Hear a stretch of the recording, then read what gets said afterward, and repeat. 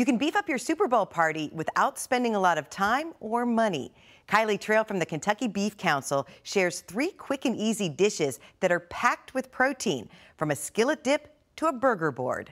Um, here we have ground beef, beer, breadcrumbs, garlic, salt, and pepper for our um, burger, which really brings that nice beefy flavor out. Now, it, we have it paired with some pickles, um, some beer cheese, and some stone ground mustard with some brioche buns, but I think it would be really fun to do some pretzel buns with that um, and kind of spin it that way. So um, that you can really mix it up there, have a lot of variety, whatever you um, like, you can really put on one of those burger boards, and they're a lot of fun.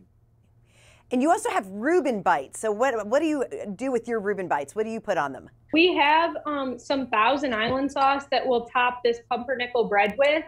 Um, super simple and easy. This is a really great um, last minute appetizer to go to the store, grab some corned beef from the deli. There's really um, not much prep to this, just kind of grabbing the ingredients, sticking them on there, um, putting these together, and then topping this with some Swiss cheese.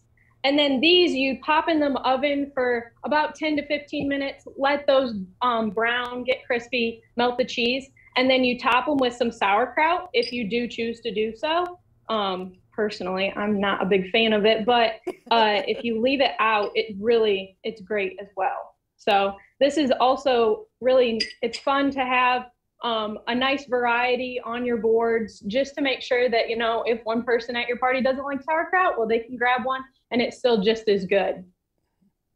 You also have a great dip that people can serve as an appetizer at their Super Bowl parties? We have like the most Kentucky dip over here. It's a cheesy bourbon hot brown skillet dip. I don't know what says Kentucky besides bourbon and hot browns.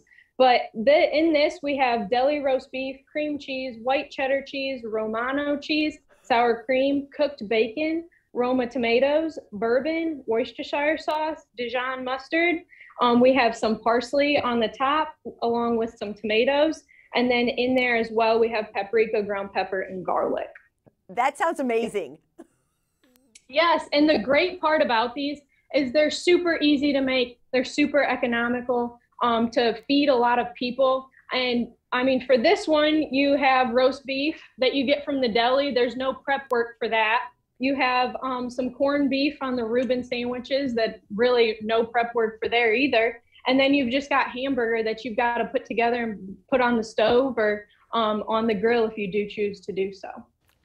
You can find all three websites at our website, lex18.com slash best of the bluegrass. LEX 18 is your home for Super Bowl 56 in Los Angeles. NBC's coverage of the Bengals and the Rams big game starts at 6 p.m. tomorrow with kickoff at 6.30. After the game, stay tuned for the Winter Olympics, followed by a late edition of LEX 18 News with Nancy Cox and Larry Smith.